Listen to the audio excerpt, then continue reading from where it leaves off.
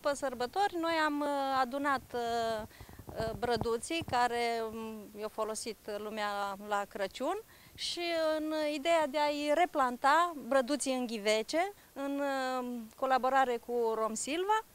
Recomandarea noastră este să pentru cei care o să aducă anul viitor să nu le taie vârful, pentru că asta este foarte important pentru brad să aibă vârful de creștere. Cel a fost tăiat și atunci să sperăm că de aici o să aibă alt vârf și el o să crească.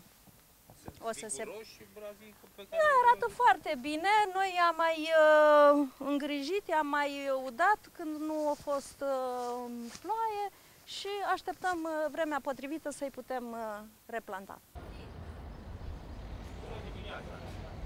Avem aproximativ 40 de brăduți aduși de cetățenii timișoreni. Inițiativa aceasta a fost uh, excepțională, uh, nu doar gândindu-ne la mediu, ci pur și simplu gândindu-ne și la acești brăduți care altfel ar fi ajuns undeva pe foc sau undeva aruncați uh, pur și simplu.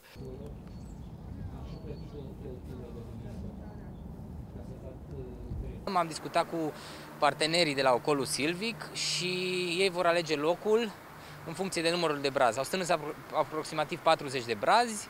Urmează ca în, la începutul primăverii, sfârșitul februarie, începutul lui martie, să plantăm acest braz undeva în Timiș, pe terenul ocolului Silvic. N-am uitat